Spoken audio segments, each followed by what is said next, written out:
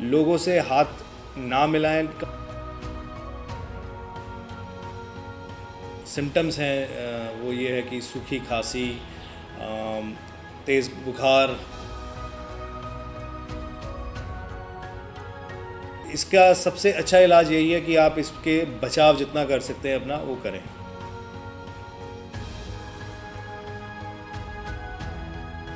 कि आप social distancing को ना भूलें।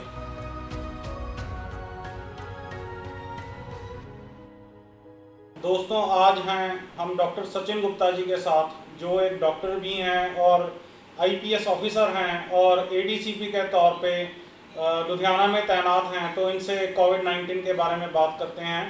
सर कोविड 19 के बारे में आप कुछ बताइए कि ये किस तरह की बीमारी है और किस तरह से इससे बचा जा सकता है? जैसे कि आप सब जानते हैं कि कोविड 19 एक नया तरह का वायरस स्टेन है, जो कि दुनिया ने को देखने को मिल रहा है। और जिसके समानता जो सिम्टम्स हैं वो ये है कि सूखी खांसी तेज़ बुखार इसके साथ साथ कुछ अनकॉमन सिम्टम्स भी हैं जैसे कि किसी के डायरिया हो रहा है कुछ अ, किसी किसी के पेट खराब होना भी देखा जा रहा है। ऐसे तरीके तरीके के सिम्टम्स आ रहे हैं। अ, क्योंकि ये नई बीमारी है इसकी अभी तक कोई वैक्सीन या कोई दवाई इजाद नहीं हो पाई है। और आप इसका सबसे अच्छा इलाज यही है कि आप इसके बचाव जितना कर सकते हैं अपना वो करें। सर जैसे पुलिस ने कर्फ्यू लगा रखा था और धीरे धीरे पुलिस कर्फ्यू में ढील दे रही है क्या कोविड 19 का खतरा लुधियाना से टल गया? देखिए इस चीज़ को मैं इस तरह से कहूँगा कि ये कोविड नाइन्टीन एक नया नॉर्मल है। इस न्यू नॉर्मल के साथ हम लोगों को अपनी ज़िंदगी जीनी सीखनी होगी और इस इसके साथ अपनी जो अपनी लाइफस्टाइल है, उसे मॉडिफाई करना पड़ेगा। और ख़तरा ऑब्वियसली कम है, कम हुआ है बट टला नहीं है। खतरा उतना ही है।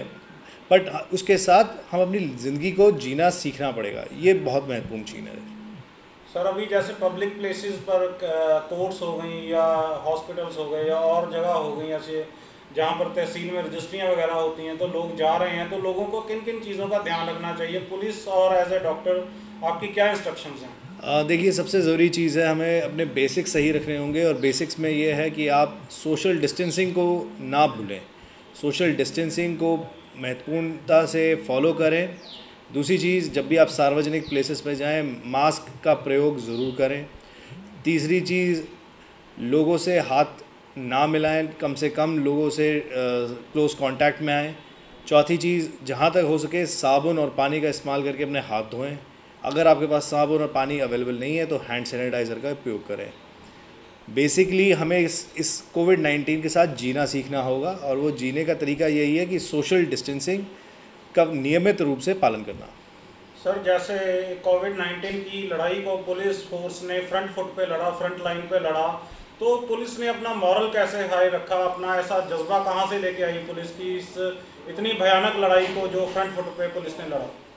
अ, इसके लिए मैं धन्यवादी हूँ हमारे सीएम साहब का हमारे डीजीपी साहब का हमारे सीपी साहब का जिन्होंने लगातार हम लोगों का मोटिवेशन हम हमको मोटिवेट किया हम लोगों को गाइड किया और हम लोगों को हर तरीके से इसमें इस इस लड़ाई में प्रोत्साहित किया।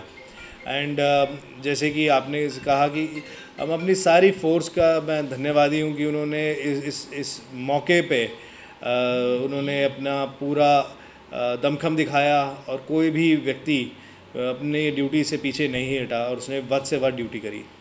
सर ये पुलिस ने अपने एक जवान को भी खोया है डीएसपी साहब को खोया है उनके परिवार के बारे में या उनके बारे में। लुधियाना शहर को भी सिंपति है तो आप उसके बारे में दो शब्द क्या बोलना चाहेंगे? श्री अनिल कोहली जी एक बहुत ही बहादुर, बहुत ही अच्छे और बहुत ही नेक इंसान थे। मैं मेरा सौभाग्य रहा, मैं उनके साथ काम करने का मुझे मौका मिला और मैं उनकी आत्मा की शांति की प्रार्थना ही करता हूँ और अरदास करता हूँ और ये उनके परिवार के साथ मेरी पूरी संवेदना है। और जिस तरह से हमने अपने के साहब को खोया, आप ये समझ सकते हैं, बीमारी कितनी कितनी घातक हो सकती है। तो फिर मेरी यही अपील है कि आप इसे हल्के में ना लें। और पुलिस और सरकार द्वारा जैसे भी आपको निर्देश दिए जा रहे हैं सोशल डिस्टेंसिंग के मास्क पहनने के हैंड सैनिटाइज करने के वो उनको प्लीज़ फॉलो करें।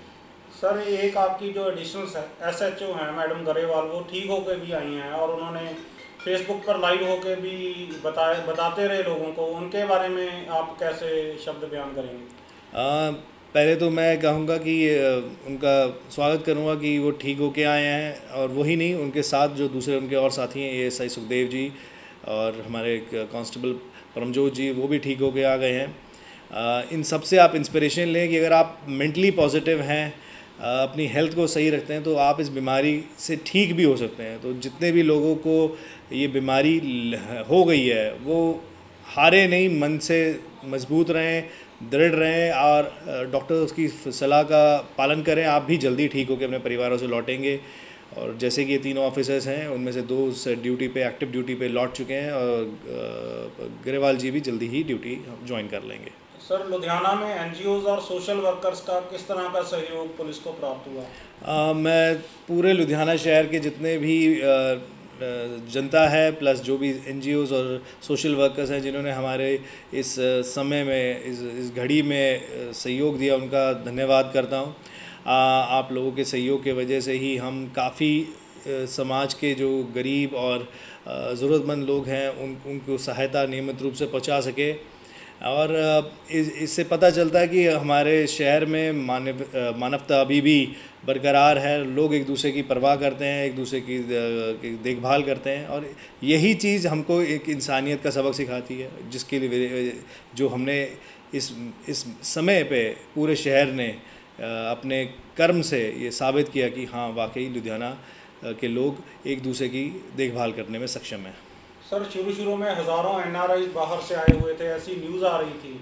और अभी जब कोविड की का खतरा टल रहा है तो लाखों मजदूर लुधियाना में फंसे हुए हैं, जिसे पुलिस द्वारा निकाला जा रहा है। तो इस सारी व्यवस्था को पुलिस डिपार्टमेंट द्वारा किस तरह मैनेज किया जाता है और किस तरह देखा जाता है? क्योंकि इतना बाखूबी काम करते हुए पुलिस को हमने अपनी लाइफ में नहीं देखा।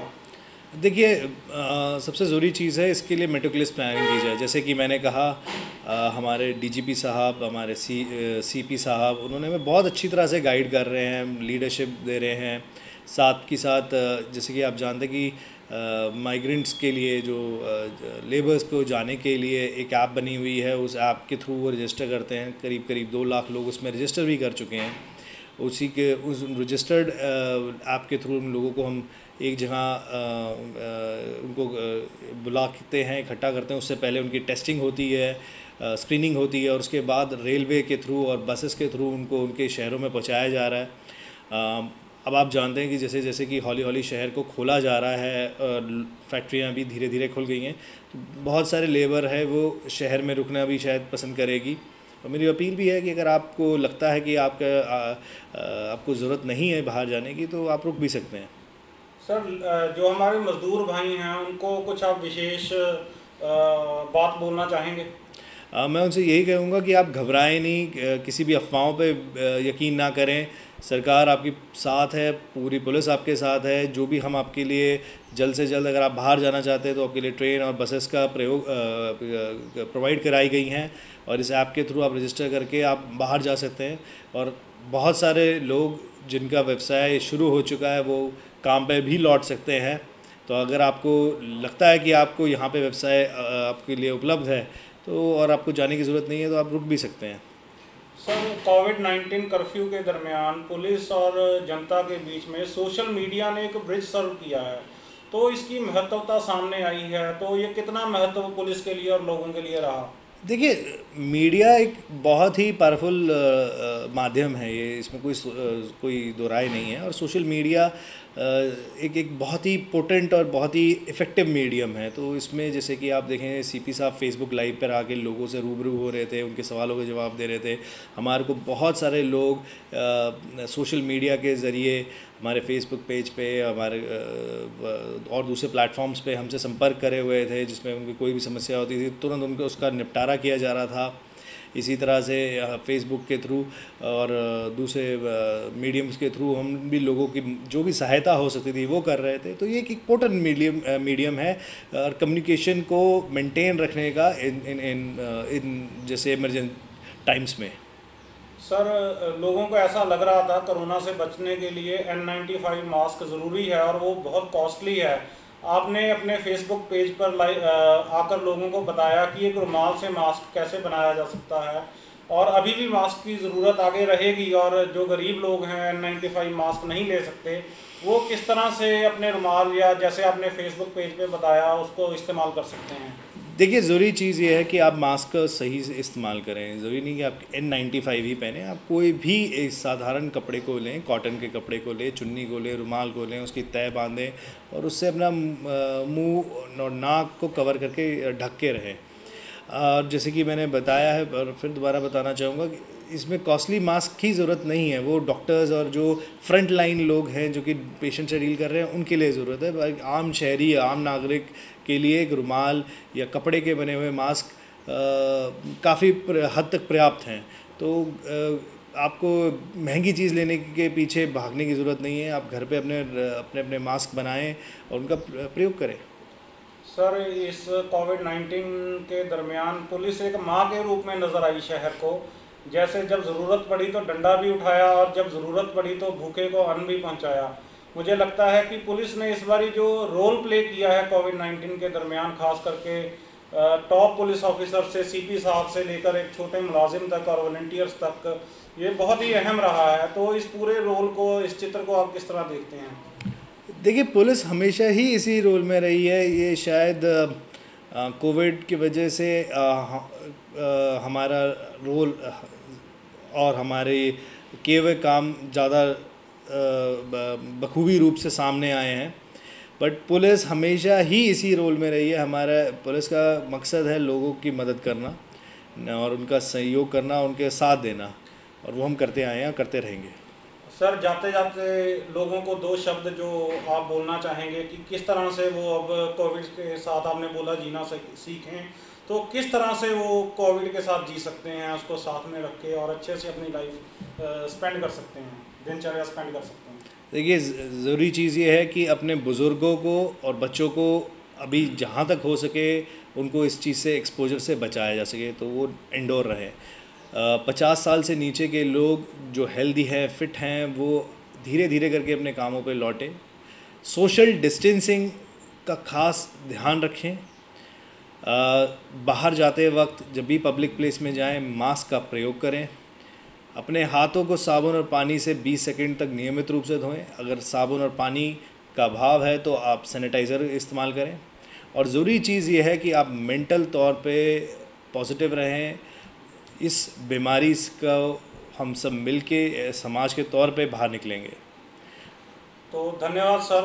ये थे डॉक्टर सचिन गुप्ता जिन्होंने अपने कीमती समय से समय निकाल कर हमें कोविड 19 से कैसे प्रिवेंशन की जाए इसके बारे में जानकारी दी। सर, आपका बहुत बहुत धन्यवाद हमारी तरफ़ से और दर्शकों की तरफ़ से। धन्यवाद।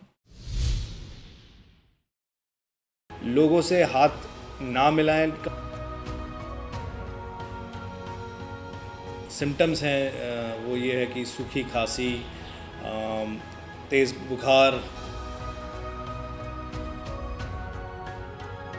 इसका सबसे अच्छा इलाज यही है कि आप इसके बचाव जितना कर सकते हैं, अपना वो करें।